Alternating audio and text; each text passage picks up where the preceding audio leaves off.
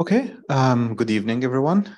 Uh, thank you so much for coming tonight, and I'm sure more will join uh, due to traffic. And we have we also welcome our viewers online uh, as they're tuning in to tonight's event. Um, so, in 1901, Israel Zangwill, a British Zionist, wrote in the liberal in the New Liberal Review that Palestine is a country without a people. As we commemorate the 75th anniversary of the Nakba this month, it is crucial to remember that the Nakba did not begin in 1948. It traces back to the moment European colonial powers and their Zionist allies set their sights on Palestine. These powers considered Palestine an empty land, not in the physical sense, as their travelers, settlers, adventurers, pilgrims, missionaries, colonists, artists, and others visited Palestine throughout the 19th and early 20th century. They walked its streets, mingled with its population, used its postal services, traveled on its trains, ate its food, drank its water. They knew that Palestine had people. However, in their view, these people, the Palestinians, did not constitute a nation in the modern sense, nor did they believe Palestinians had roots in Palestine. This perception of an empty land, a land without a people, underlies the ideology that would later justify the Nakba. Yet, we Palestinians as a people, as a nation, as individuals, as communities, we know our country, we love our country, and we honor our homeland. It is where we have lived, continue to live, and will remain as living communities, families, and custodians of a and custodians of a precious heritage and culture that has been passed down over centuries. As historian Noor Masalha articulated in his book, Palestine, a 4,000 year history, Palestinians have always perceived Palestine as their country, even before the rise of modern nationalism. Today, as we mark the 75th anniversary of the Nakba, we pay tribute to the thousands of Palestinians who lost their lives, homes, and livelihood due to this ongoing journey of suffering and estrangement. The Nakba represents a continuous process of uprooting, erasure, and destruction. Amid Israeli threats of a second Nakba, we acknowledge the existential threats faced by our people in Palestine. Yet, it is, our, it is also essential to take pride in our resilience and defiance, and to celebrate our existence and our capacity to resist and survive against considerable odds, even after 75 years of dispossession, denial of rights, and, and constant aggression. It is my honor today to welcome to the Palestine Center and the Jerusalem Fund two amazing guests who embody the spirit of resilience and the yearning of, for return. Their journey as part of a beautiful family and their accomplishments illustrate how Palestinians have defied the impossible to thrive and preserve their roots and memories while inspiring us to continue to, to continue fighting to end the Nakba and secure our sacred rights, notably the right of return. So our star for tonight, Dr. Abdel Ghaffar Musa was born in Abbasiyeh, Palestine in 1939. Along with his family, he was expelled from his village under gunfire during Al Nakba in 1948 and was raised in Al Nuwaimeh refugee camp. He received an UNRWA scholarship to the American University of Beirut and completed his university and medical training there. He then worked at the Arabian American Oil Company, Aramco, for five years before moving to the United States, where he completed his training um, as a physician and he treated cancer patients for 37 years in Syracuse, New York, where he was also chairman um, uh, of obstetrics and gynecology at the St. Joseph's Hospital. He now lives in Great Falls, Virginia, with his beautiful wife, Sultana Musa, and enjoys spending time with his three children and five grandchildren. We're also honored to welcome Jumana Musa, who is a dedicated human rights attorney, racial justice activist, and proud Palestinian with a personal connection to the Nakba. Currently, she holds the position of Director of the Fourth Amendment Center at the National Association of Criminal Defense Lawyers, NACDL, where she leads the organization's efforts to establish a new legal framework for the Fourth Amendment in the digital era. In her previous role, she served as the organization's senior privacy and national security counsel, worked as policy consultant for the Southern Border Communities Coalition, addressing issues related to militarization and brutality by US Customs and Border Protection agents, and served as deputy director for the Rights Working Group, coordinating campaigns against racial profiling. She also held the position of Advocacy Director for Domestic Human Rights and International Justice at Amnesty International USA, where she focused on the human rights impact of US counterterrorism efforts, including her role as a legal observer at Guantanamo Bay Military Commission proceedings. So without further ado, join me in welcoming Dr. Abdul Ghaffar Musa and Jumana Musa. Thank you. Thank you. So these are these just for the camera or do they amplify us here too? They're for the camera and for our uh, online uh, viewers. Wonderful. All right, so I, I think oftentimes we start these conversations and we talk about, you know, death and destruction and occupation and resistance, um, which is all part of the Palestinian story, but there is also uh, hope and resilience and joy and culture and humanity. And so tonight we're going to talk about both of those things because you can't have one without the other. And, you know, the latter is very much um, what's responsible for the survival of the Palestinian people. Because anywhere we go, we find community, we make joy, we eat well, um, and we make children who do some silly things. Um, so I'm I'm very I'm actually thrilled to be able to have this conversation with my dad today. I've heard some stories, but I've realized as we've been doing this a little bit, I, there are stories that I still haven't heard. Um, so I thought we could start with just talking about Abbasiyya, which wasn't originally called Abbasiyya, and you know what it was like to be a kid there. If I'm not wrong, your grandfather was the Mukhtar, which is like the mayor. My father. Your father too, and oh. so, and so you were very much part of the fabric of Abbasiyya, the everyday life of Abbasiyya. Probably everybody knew Hassan and Musa, Hussein and Musa. So tell us a little bit about life in Abbasiyya. Okay. Well, I was born in 1939, and Abbasi at that time was, uh, which is to make things, it's close to Jaffa, which is about six kilometers from Jaffa. And a lot of people used to uh, walk to Jaffa. And uh, in that time, when I started, you know, conceiving of things, there was a bus in, in Abbasiyya also, which goes, which I remember the name Bas Musa Hassan, and the name was. And it was 10 piastres to go from Abbasiyya to Jaffa. So Abbasiyya was the second largest village in Palestine. And in 48, the census was 5,500 inhabitants of Abbasiyya. It's second to Fallujah, which is Fallujah between Gaza and Hebron. It was 6,000.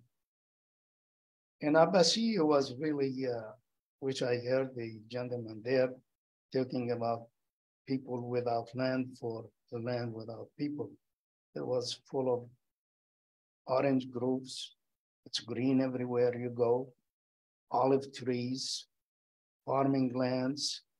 I didn't see anything farmed or green when I was growing up there. And also, they used to be like the center. It's not like um, farmers market here, but there is the souk, which is the market on Friday, where they come from all around the villages and the towns in the area and it's really busy that the every Friday in Abbasi where people trade and buy and do things. The, uh, the school which I went to still to me is one of the most beautiful schools and gardens and flowers and roses and everything. and it and it was till seventh grade at that time when I joined And once they finish, they go to, when they graduate from seventh grade, they go to Jaffa, which is called the Amiri or Rashidi, uh, sorry, to uh, Ramli, which I don't remember the name of my brother went to Ramli, also when he finished that year. So people were living nicely and it has five Hamudi, which is a tribe. It's not like here in Maya, and the city and so on. And each chief of that Hamudi will manage all the, for the, their group, the government things, the government positions, signatures and so on. And my grandfather was the Mukhtar, and my father followed that. And it's all by election, not by, all uh, there was elections. And the last election was my uncle, who was my wife's uh, father, and we went for his election all over the city, but unfortunately, he didn't make it. Somebody, somebody else made it. So originally, we are descendant, our sixth grandfather descended from a town in uh, next to uh, Hebron, which I visited by chance in 1950 when I was a fourth grade. It's called Beit uh, Naim, and it's still there. And our Hamuli, which is the tribe, still they have the same name because I met one of the kids from that uh, in college, and the Hamuli Ahmedat is still there. And just to make sure things remember, and this is for the future, there were five tribes, Manasra, Dalachi, and so on. So once, about five years ago, we went to Irvine and we had a meeting there and we, for donations and fundraising for the Palestinians. So we came out with 10 scholarships to different colleges and some money. And that's what I want to say is at the end, when I spoke, and two young, beautiful women came to me in their early 20s, and they said, We are from Abbasiyah, and we are from Hamule the Dalalshi. You remember that? And what Hamuli are you from, doctor? So this is to show you the continuation of the feeling of belonging to the place. And that was very, very, really moving to me when I heard this. Thank you. So you're welcome. So, you know, when it comes to the feeling of belonging and the continuity, I know um, Tina and I went with mom the first time she went back to Abbasi since 48. And I remember two things very distinctly. The first one I'll never forget was mom standing sort of in the middle of everything, trying to locate herself and think about where was their house. And the other thing I remember is that where the market was, there's now a strip mall. Yes. and so um, you know, it's they, they sort of papered over but didn't really change. Um, so that sounds like it was a lovely place to grow up, but you didn't get to stay.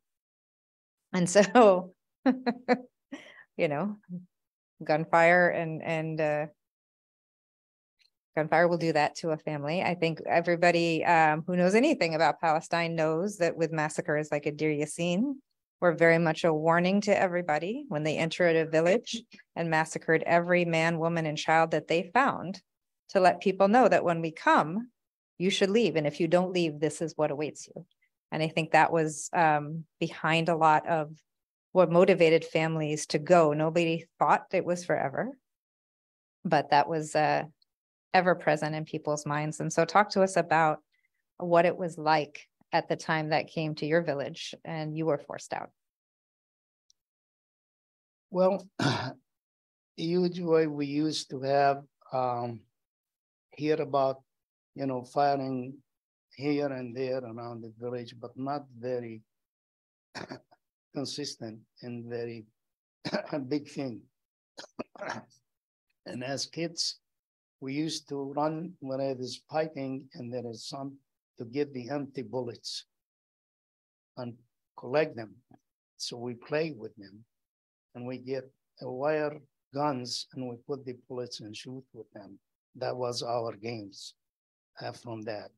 But the first thing which really that shook the village or the town, it was in, a, in one day around noon or a little bit in the afternoon, and we were in classes in the school. I was third grader at that time. And they came, there was a second settlement called Labis. I don't know what happened to it And yesterday, next to Tel Aviv. They came from Labis from the north. It was north of our town. And they came through the main street to that center of the town where my mother's cousin had a big cafe in the center of town, which was like the meeting of a lot of people. And they came in with jeeps and automatic weapons, and they shot and killed everybody they saw. And that's the coming into the city. And I don't know why the school administration, they released us. They released us from school that happened. The school was on the east side of our town. And when 1936, when my grandfather died and the brothers got separated into families, my uncle and his brothers, they took the main house in the center of town. And my father and my other uncle, they went and built houses outside town on the west side. So I had to cross from east to west through it.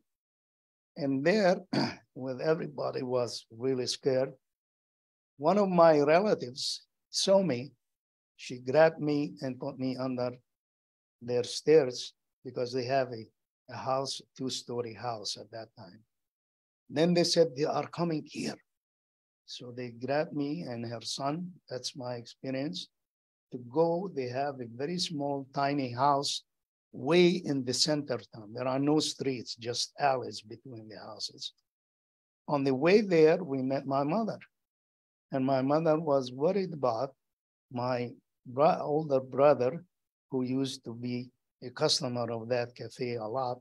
So they went to look whether he was hurt or not. Then she found out he was not, and we saw her. She got me, and we went home. That was my first experience with real fighting and war. So I know you were talking about, um, you know, who kept the house in the middle of town and you built houses a little bit on the west side. Um, you were the youngest. You were the youngest in your family. Yes, And uh, number eight. number eight. Well, there are two who died, so really number 10.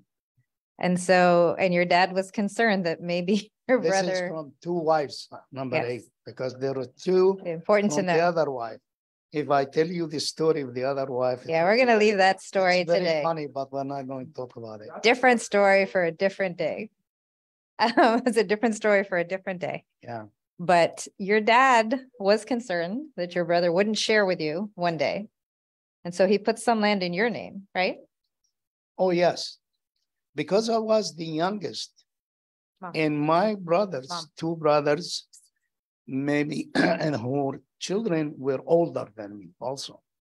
He was afraid if something happens to him, that they will not give me anything because he owns, they have, a, you know, orange grove, they have olive trees, farming lands, tractor, caterpillars, tractors, and a lot of things around.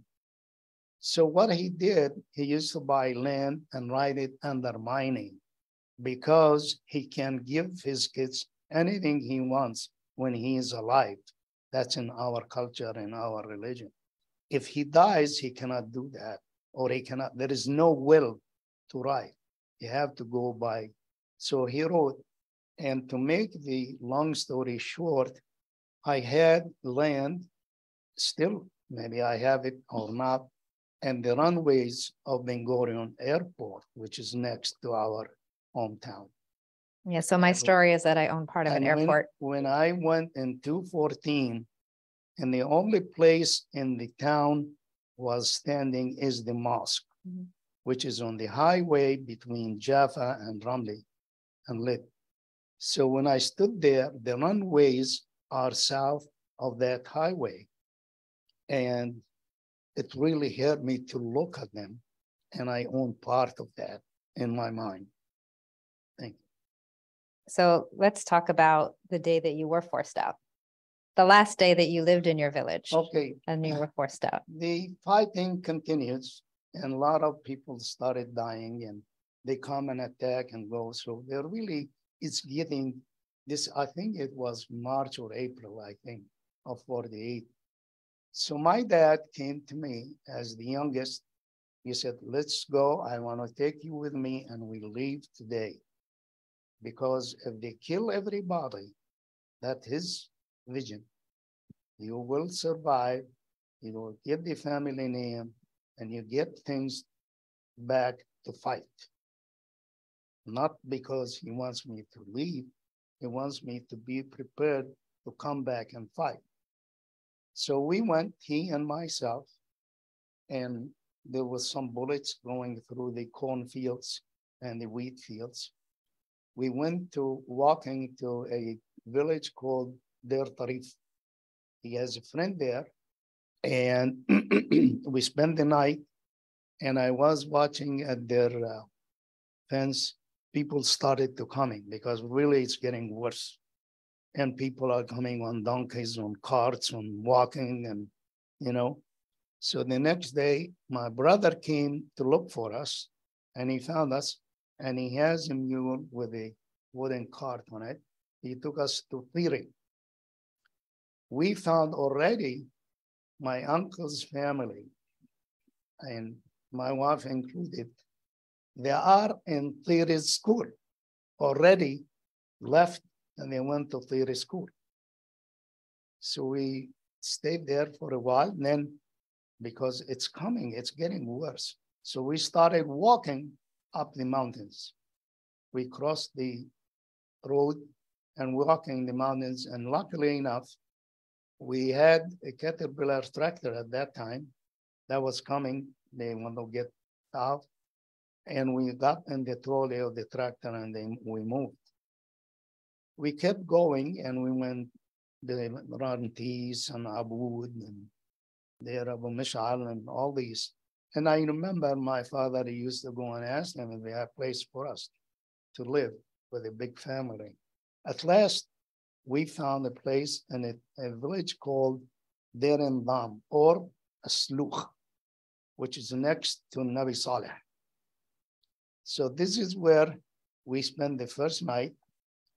And the real tragedy that night was when they go up the, the mountain and there is a big slope, somebody detached the trolley from the caterpillar without putting support behind it. So it slipped all the way down and it got in, in a big hole. And the only one who was on that tro- uh, trolley was my mother. And it pushed her up and landed on a rock on her sternum, which is the front of the chest, broke the bones. And that town, even we couldn't find a, a baby aspirin, not only aspirin for pain. So spent all the night awake, yawning and moaning, and her little son crying next to her.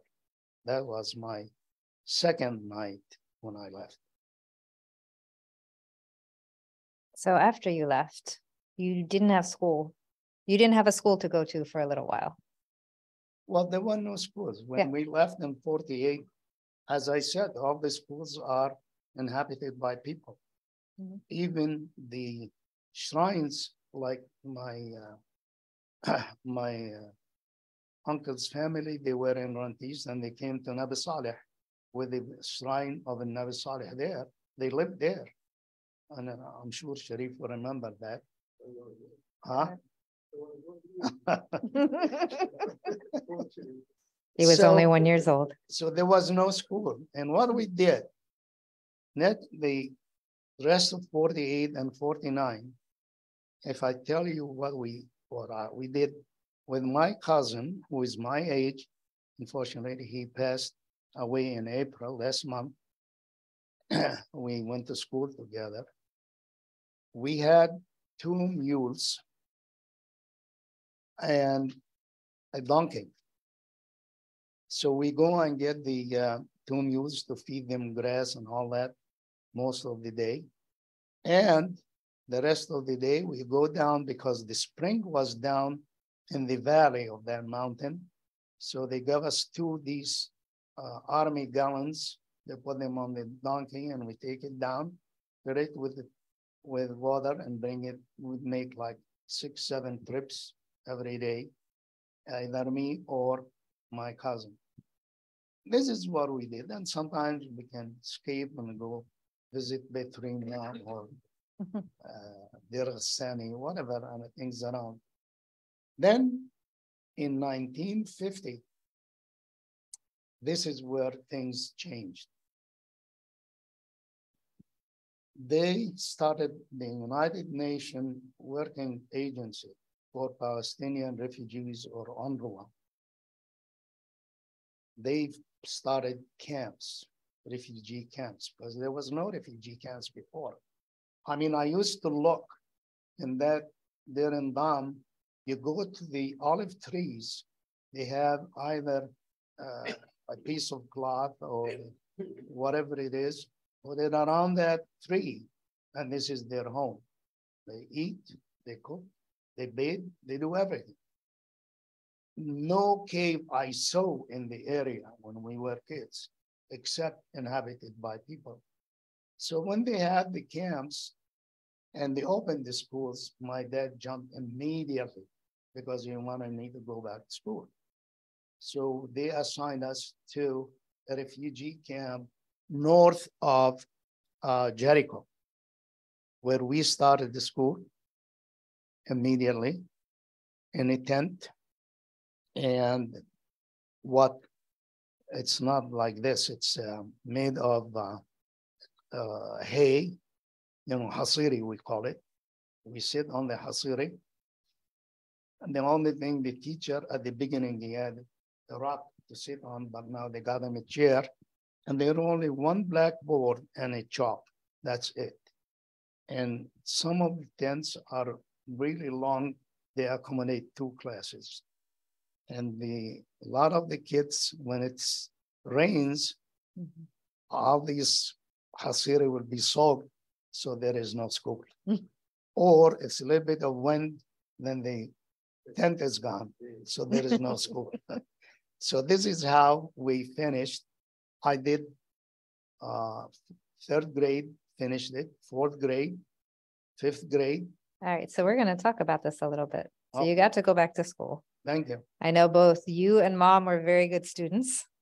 No pressure on us, very good students. Um, I also remember, I don't know if you remember this, mom, but when I was, as after I was out of law school, you called me one day, you said, what are you doing? I said, well, I'm going to Baltimore, we're protesting NSERS. And your statement to me was, we didn't spend all this money, so you stay shouting in the street. It was a quote. I never forgot it. But but still am. But it didn't start with me. I understand when dad was a high school student, he led a lot of walkouts from school. So I like to think I inherited it. But why don't you talk to us a little bit about that? What were you, what were you guys walking out of class for? What were you organizing around? Oh, yeah. We're talking Uh. Okay, Yeah. then I moved on sixth grade. I moved from the Honolulu School to the government school in Jericho. Mhm. And I have two of my uh, alma mater here. They have went Hisham ibn Abdul Malik School, same school. And I started till uh, only, I left one year to go to Hussein's College in Amman but I didn't find it. I thought it's different, but I found it no, so I went back to Hisham and I graduated from there. But because of what happening, there were a lot of commotions in the country, a lot of you know, what we were talking about, a lot of parties, political parties, different ones. And we used to have a lot of demonstrations and they get you in jail sometimes. But what we, whenever we see something, I was one of the really moving guys. We go from uh, refugee camp in Nuwame, go to something called Ain Sultan, which is the Sultan's Eye, and if you want to translate it. Then Jabr, which was the largest Palestinian refugee camp. There were 50,000 people in Aqabat Jabr. So we got all the schools and come to Jericho and close the school in Jericho and just demonstrate against what's going on.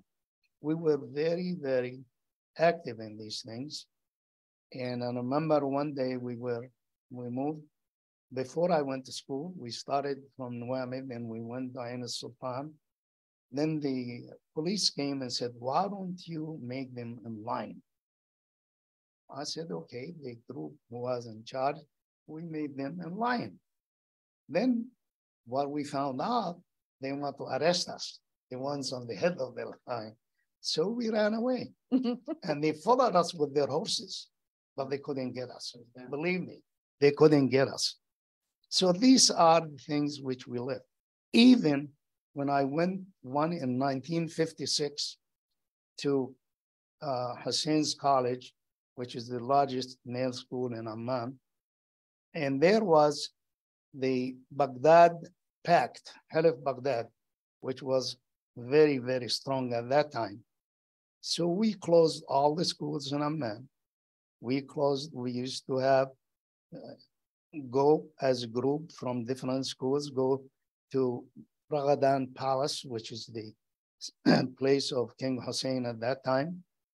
And uh, as a matter of fact, we destroyed all his gardens. We pulled out all the, the flowers, and he used to come and talk to us. Hmm. And it went on all year till Halif Baghdad disappeared. So what I will say about this is, uh, I guess in the words of what my husband would say is I come by it honest. I guess what we would say is Dal buha, right? um, so after high school, though, you got a UN scholarship. You got a UN scholarship. You went to college and medical school in Lebanon. Okay. And uh, we're not going to spend a lot of time in Lebanon, though. Huh? We're not going to spend a lot of time in Lebanon. I okay, do know, though. Well, when I finished uh, high school, I just want to say something about uh, my experience with uh, which got me more attached to this because Jericho is the lowest part on earth below sea level, 372 meters below sea level. It's hot, but it's not humid like here. It's really dry heat. So we wanted to study for our high school exam, which is there to go to college, you need the high school exam okay? It's not only your grades from your school like here. So uh, I was there, which is, I tried to convince the principal of the school, who was from Hebron at that time, he would not fight. So I took the whole class, we were 50 in the class, and we went to Qa'im which is the county executive like now. That's Prime Macron county executive. He was out of the school. When he came back to school, they told him Musa took them to the Khan. So he came there. Then he convinced us to go back to school. And he put us, you know, in a row of two. Then we went through, because it was outside the city, so we went through the city. We did not want to show that he is controlling us, we made the circle. Anyhow, we went there and he said, why don't you go? There is a park for the government. Go there. I said, no, it's hot still. so he decided, okay, you leave. So he gave us six weeks to go and study in uh, anywhere you want. So my dad immediately got me a room with a family in a town called Aizari, which is next to Abu Dis, Mr. Erekat's hometown. So I really spent six weeks studying between the olive trees of Abu Dis or Al Aqsa Mosque. Take the bus from Azraqi, one 10 cents, and go to spend the whole day in Al Aqsa and the Dome of the Rock, inside or outside. It's just beautiful. Then we sat for the high school exam in a church at the old uh, wall of Jerusalem, which we saw all the Jewish ladies from, because it was on the third floor the hallway. So this is, gives me really more and more attachment to the areas which I saw when I was young. Okay, so I am looking at the time, so we do, we have to fast forward. We went to Lebanon, I said we have to fast forward, we have to keep moving because we, we're gonna get short on time. Okay, So you got an UNRWA scholarship, you went to college, you went to medical school in Beirut. Um, also led some students in protest. And then you went to Aramco for five years, where you were working, sending money home. Uh, you had my brother, you married mom. Um, you talked about the attachment you developed. You were already now not just displaced from your village, but displaced from your country, right? You were in Beirut, now you're in Saudi Arabia. What brought you to the decision to come to the United States? okay. Well, I went to the American University of Beirut, which is chartered by the state of New York. That's on my degrees, chartered by the state of New York, whether it's sophomore diploma, the BSc, the MD, and everything. And they follow the system in the hospital we had, which was accredited by the Joint Commission in the United States, like any hospital in the United States. So when I did all what I did to help my family to go to Aramco and graduate my nephews from medical schools, two, two medical schools, one pharmacy and one business. Then I have to do my training. I have to specialize, and the only place I go is to the United States. So I applied. I wrote a letter to the first place, which I didn't write any letter anywhere else. And two of my classmates were in that department at Upstate Medical Center in Syracuse, New York, which is part of the State University of New York, SUNY. SUNY has four medical schools, not one. So they gave me, uh, they sent me uh, an acceptance immediately. I didn't have to apply anywhere else. That's why I came to the United States. So you came here to get training. Um, I don't know if you knew this, but actually in Syracuse, not only was there an Arab community, but the biggest portion of the Arab community in Syracuse was Palestinian, which is unusual for the US. And I remember I had a, uh, there was a magazine, it was in the Sunday like newspaper, the Parade magazine. They lit, they had a spread on the Palestinians of Syracuse. And so it's, it's, you know, just part of the way in which we continue to build community everywhere we go. Um, you got your training, you specialized, you became an oncologist.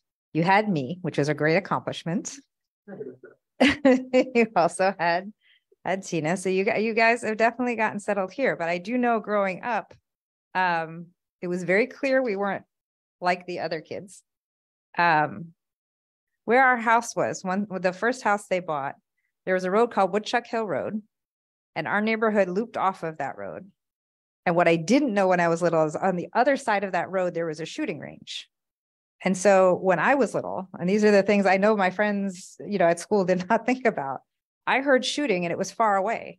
So in my head, I was listening to the war in Lebanon because it was shooting and it was far away. I had no idea we had a shooting range across, you know, across the street from our neighborhood. Um, but I also remember mom who told me she didn't raise me to stay shouting in the streets. When I was eight years old, you took me downtown. Me and my cousin Reem, we were told, you know, these are your only cousins in America. It was true at the time. Um, and we went downtown. We were protesting for Palestine. And you get it, it's not up here anymore. You used to have the image of it, but Reem and I were walking around with a sign that was like a postcard and it said to Palestine, and there was a stamp on it that said return to sender, no such address. Yeah. It was an iconic one. We ended up on the evening news actually with that. And so, you know, we're at a place where you've now gone very far away from both home and family. And at the time, we didn't have a lot of family here. We had our cousins. You had one brother in Canada, and that was all of us that were here, and one cousin. And that was it. And so it was the start of a very different kind of life. And so, in that context, how is it that you thought about like i mean i still remember you know going to st elias church and the debki troupe would come and the different palestine events that would happen um, how is it is it something that you thought about deliberately or is it just a function of how we live in terms of the type of sense of identity that you instilled in your kids I didn't get the last. the sense of identity that we all had. Like if you ask any one of us, Dammi Falastini, right? Like there's, there's, there was never, it took me a long time. I was well into college or maybe past college before I thought of myself as a hyphenated American. I wasn't a hyphenated anything. We were Palestinian from just, that's it. There was no other piece of it. Well, this is very, uh, very good. Uh, when I came, I didn't know much about the United States. All I know from my professors at the university. So to tell you, we arrived the next day, I found out they rent a townhouse for us before we came. And I thought it was furnished, but it was not. So I went to an Italian furniture store the next day on North Salina Street, which is the main street of Syracuse. And I went there and I told the guy, I want the cheapest furniture you have. He looked at me and he said, What? I said, Listen, I just came to the United States yesterday mm. and to Syracuse. Whether I will like Syracuse or not, or I like to live in the United States or not, I want a furniture as cheap as we can. So he did. And we got to furnish all that townhouse, believe it or not, a room for our son, a room for us, dinette, and all that for $950 that time. 1971. Yes. And it served us five years till I finished my fellowship. Then I gave it to our GYN oncology floor in the hospital, the secretary. She was a, a black woman and a little bit poor. So I gave her all the furniture before we go back to Syracuse. And always, always, I felt I have roots. I have to go. And uh, I tried to raise my kids, my associates, always to be one thing that we lost something. We cannot lose identity we have to keep our identity. And all what I did, whether because I went to Memphis, Tennessee for two years for fellowship, same thing. We have to keep our identity all through, and I'm glad I did, and I think I succeeded. I think you did too. And I think about the fact that, you know, you're sitting and talking to people who, you know, went to the same schools and then you know, your daughter and their niece, and we all come together and find each other, um, you know, even all these miles away. And so, you know, I know you've quoted a lot where Golda Meir had tried to say, you know, the old will die and the young will forget. And never have I been so happy to prove somebody wrong. We'll never forget and we will return. And I've so enjoyed the opportunity to be able to have this conversation with you. Thank you. Thank you so much, uh, Dr. Musa. Thank you so much, Jumana. Um, now we'll open it for questions from our audiences, if uh, that's okay with you, and um, and then we'll conclude. So, uh, if you have any questions, please raise your hand, and I will bring the mic to you. Thank you, Jihad, uh, and I really want to thank you and thank Muhammad and Ruqayya. You guys are doing an amazing job uh, all these events. And of course, I'm I'm truly honored. Every time I see you, I am honored uh, by seeing you. And now, you know, listening to what uh, what you have shared with us, uh, it, it, brings back a great deal of memories for me. I mean, you know, I have very similar uh, experiences. We've been to the same places. We went to the same school. Um, you know, you've been, you studied at my village and so on. And uh, the same thing. I mean, you know, I remember in uh, our school, the first time we all got arrested, you know, half of the class was arrested. It was during the Algerian Revolution because we, you know, we were uh, out there demonstrating. We were kids, you know, demonstrating for Algeria, and they came, collected all of us, and they put us uh, in Maghfar, you know, the the police station in in Jericho. You also talk about uh, Nuwaimeh, which I really know. You talk about Aqabat Jabr, which I really know. You talk about Abbasi, and I have so many friends from Abbasi. I mean, you know, still alive, some have died, and so on. So, uh, all these images and uh, that you you shared with us. I mean, you talked about Half Baghdad. Uh, you know, my one of my brothers spent three years in prison for Half Baghdad. You know, the same thing. He was my oldest brother, and so on. So this is really the Palestinian story. You know, it has always been an activist uh, and doers and uh, you know pursuers of uh, uh, whatever goals they have and so on. I mean, you know, I remember seeing the kids um, always uh, going up and down Wad al Qalb, for instance, you know, on the sides in Jericho, studying, you know, and uh, some of them would work in Al you know, which is the, you know, the, uh, like the, I guess, Eastern market here and so on. Yeah. The wholesale. Yeah, the wholesale market and so on. And they, they would be studying, reading their books and so on. And, and so on. So this is really the Palestinian uh, tradition. I know uh, but also what what you talked about in terms of erasure and, and, all this thing. I mean, it was when they said that there is no, uh, it's a land without people. It's it is part of the plan to erase the people from the land. I mean, this goes back way back. I mean, you know, evangelical Zionism or uh, Christian Zionism goes back, I think, like a thousand years. It's not something new. You know, all these racists that became. Uh, uh, prime ministers and so on, like Churchill and his and so on, were you know were rooted deeply uh, immersed and rooted in uh, Christian Zionism and all this thing. That's a different topic altogether. You know, all this, I, I want to ask you a, one question. I mean, you know, it's uh, Palestinians always, uh, that those who were forced to leave. I mean, we were not forced to leave. I mean, now we are all refugees because, uh, you know, I'm from the West Bank, from uh, from Abu Dis and Jericho and all and all this thing. Well, my question to you, if you know, by whatever magic or power of magic, uh, Al-Abbasiyya was liberated tomorrow, what would be the first thing that you would do when you return? Thank you.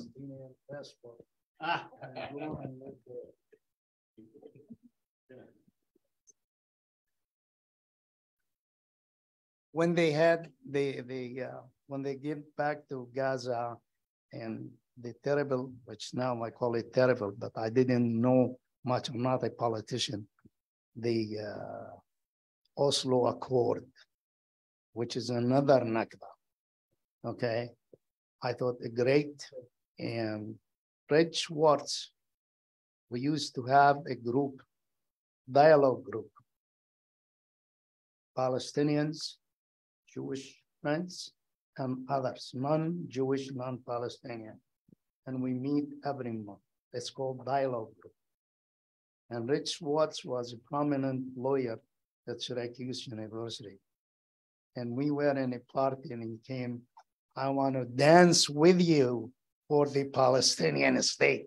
This is what Rich Schwartz, God bless his soul. Okay. We used to meet in our houses.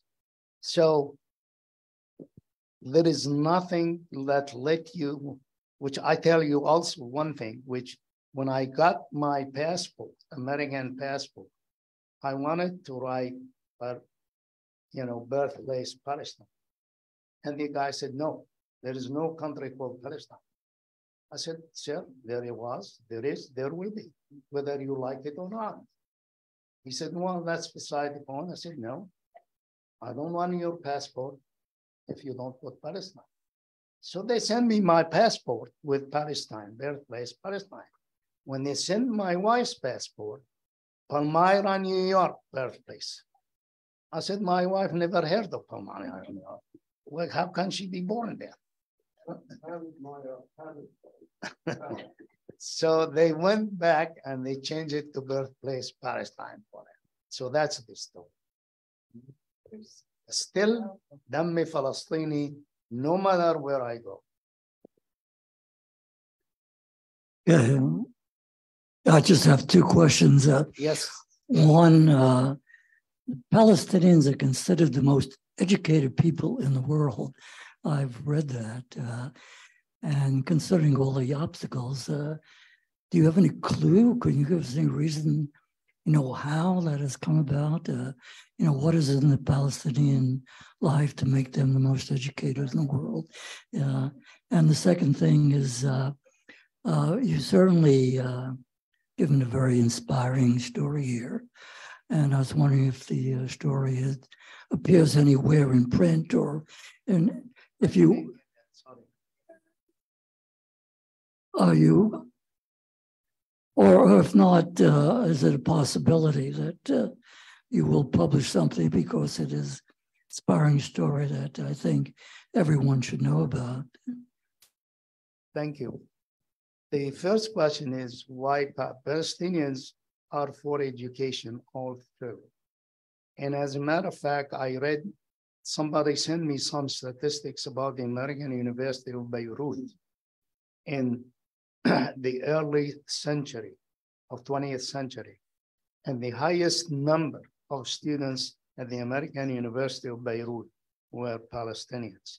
And I want to tell you, when I graduated from medical school, we graduated only 36 students. That's my class. Nine of us were Palestinians. We are second to the local the Lebanese people, the host of the university, the second to the Lebanese. So nine of us, the doctors were Palestinians. And wherever you go, you find Palestinians. So this is their education. And the only way is to get back on our feet is to fight is education, education and education. And I know Palestinians are educated all over. I meet them all over I, I go. And the only thing is when they call the Palestinians who stayed in Israel which there are now more than 350 Palestinians to cross that name, Palestine, they call them Israeli Arabs. They don't call them Israeli and Palestinians. I am here. I am American Palestinian or Palestinian American. Okay. If he comes from Italy, Italian American. But there, they never mentioned Palestine even in Spico, you read about it.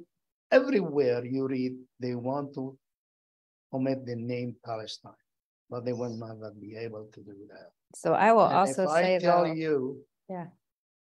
if I tell you the story of my granddaughter, who is fourth generation, she just finished first year law school. She wrote a paper about the economy of the Palestinians and the Israelis. actually specifically, because it was brilliant, on the tax scheme that the Israelis imposed on Palestinians and why through that tax code, they have already shown that this is not a matter of two states by any stretch of the imagination, that there is no autonomous government and it is a full occupation. Yeah, It was a very good paper. yeah. So Jade Mhm. wrote that up and gave it to the professor. It seems the professor is, we love Jews, don't misunderstand me. I have tons of Jewish friends, but she seems she's a Zionist. And she gave her F. Ah. Okay, Jade never got F in her class. So she was really crying that night. What happened? Then we worked it out, then told her, go to the chairman, go to other professors and let them look at it. So what she did, she did look at it and everybody said, this is a great article and great paper. They sent her back to that professor and she gave her A on that. And that paper actually won the, the Well, I'm award Coming, I'm for the political science department. I know, but we. The graduating That- class, go ahead. Yeah, no, that paper did actually win the award for the entire political science department, not just for any particular part of it. Five hundred dollars check. but I will say on the question of education too, I think it's important to remember that in the context of loss, of having an entire foreign population of people both occupying your lands and talking to international institutions about handing your land over to them, there was a strong sense that education was not only critical to that conversation, but once you obtained it, it could not be taken away. And so I remember when I went to college and I was like a flaky first year student taking classes. And mom called me and she said, What are you going to major in? And I was like, I don't know, maybe sociology. Like, I don't, I took like two classes. I thought it was interesting. Huh? No, it was sociology. It, it was sociology. And I, the reason I never forgot this because mom's response was, Well, you're going to get at least a PhD. And I started laughing. I said, At least a PhD? Like, how many degrees am I supposed to get? But I mean, that's that's very much she was aiming. And got us all very educated. So I think we have a question from Jalil. Um, did you play any sports when you were in when you were a kid? Unfortunately, no. I did. Good, Jalil. Thank you. Yeah, I'm okay. We're I'm taking stacks, so I'll bring you the mic. We have a question here.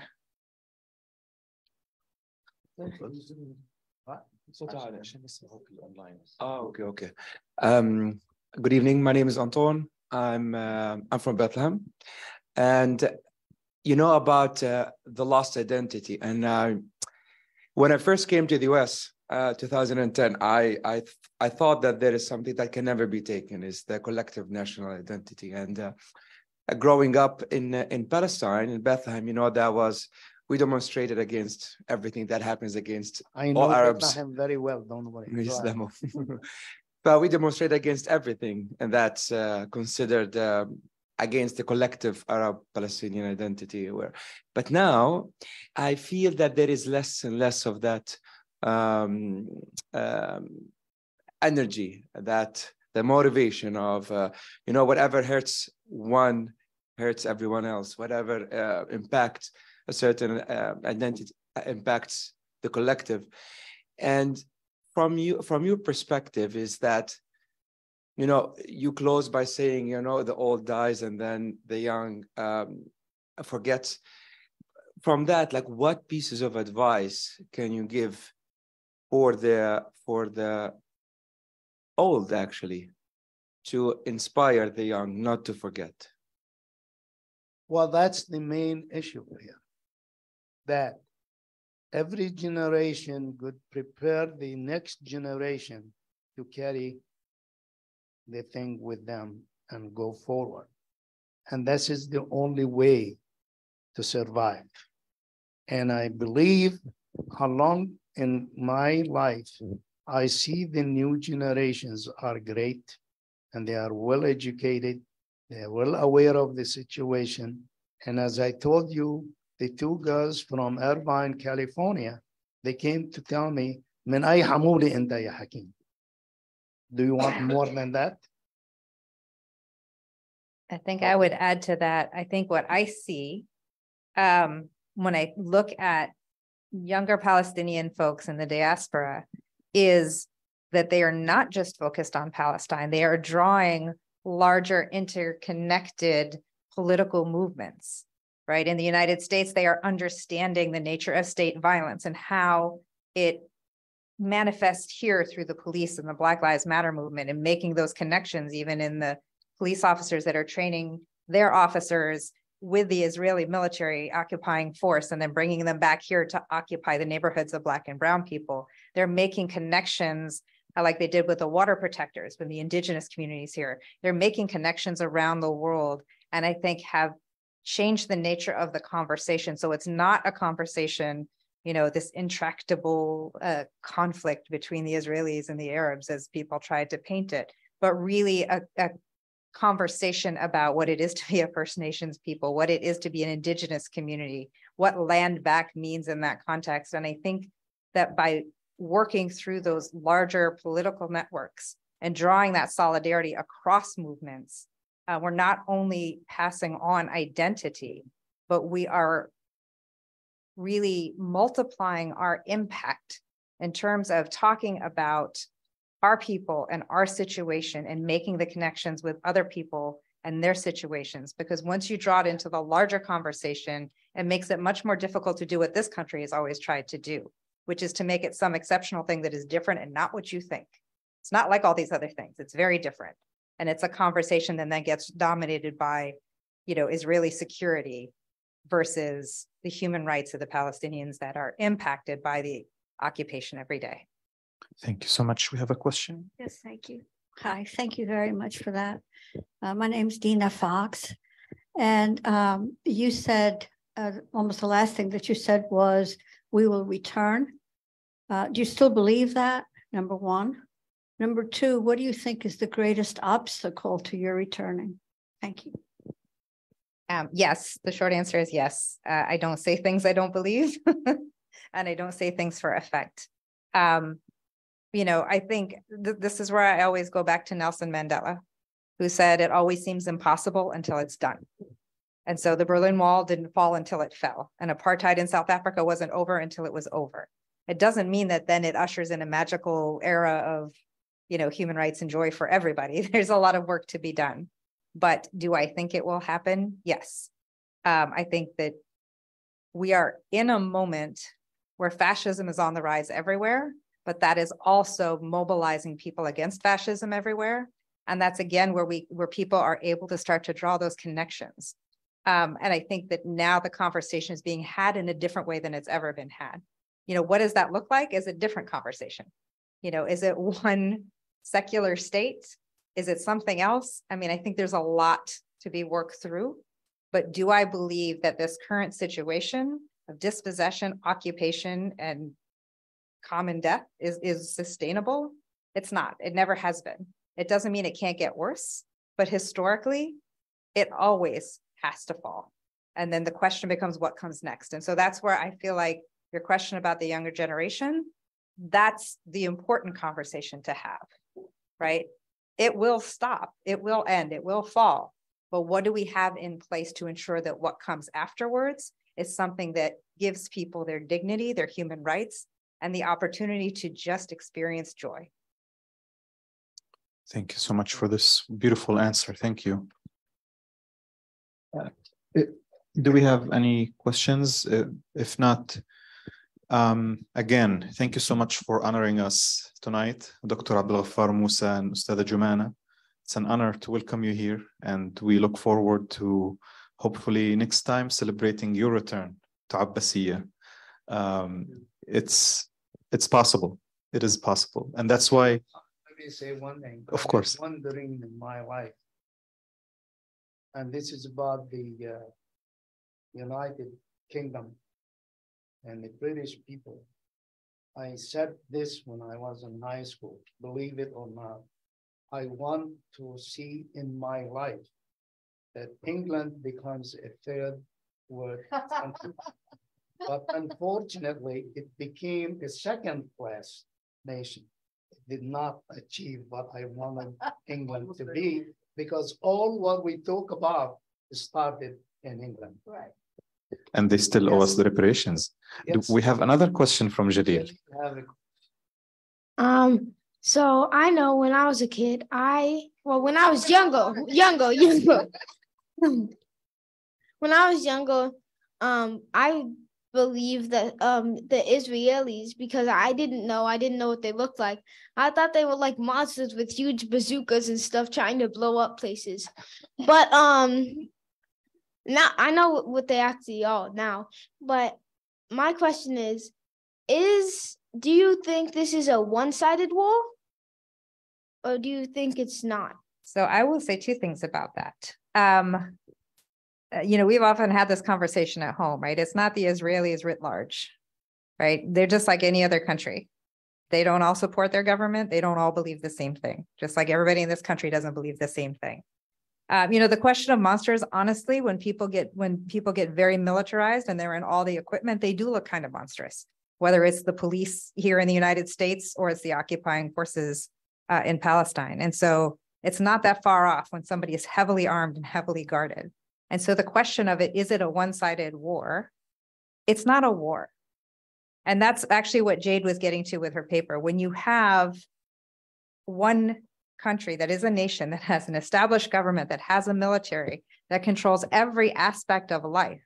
And then you have a people who are subjected to every aspect of the whims of that other nation. That's not a war. And so they're an occupying force. And, and, and we could have, if you really want to have a conversation about international law, they have obligations and duty as an occupying force that they don't meet. And in fact, they instead violate the laws of war all the time. But you cannot have a war between an occupier and an occupied people. That's not a war. It's an occupation. Thank you so much. I had the honor of meeting Jalil at the event that uh, Representative Tlaib organized uh, on Capitol Hill.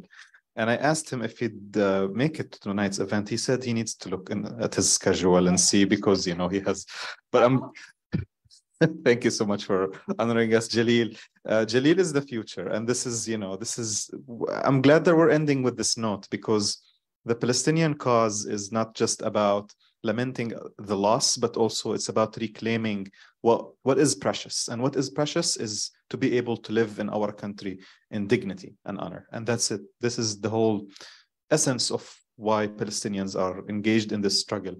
And, uh, and hence the title of tonight's event, Remembering the Nakba, Preparing for Return. Thank you so much all for, for attending. Please join me in thanking Dr. Abdul Ghaffar Musa and Ustad Jumana. And again, thanks so much for honoring us here at the Palestine Center and the Jerusalem Fund. Uh, next week, we're, uh, we have the annual uh, Hisham Sharabi Memorial Lecture. The flyers are on the chairs. Uh, we're hosting Professor Bassam Haddad, who is going to uh, give this lecture this year. Please join us if you can make it. It would be a great honor to have you again. Thank you so much for coming.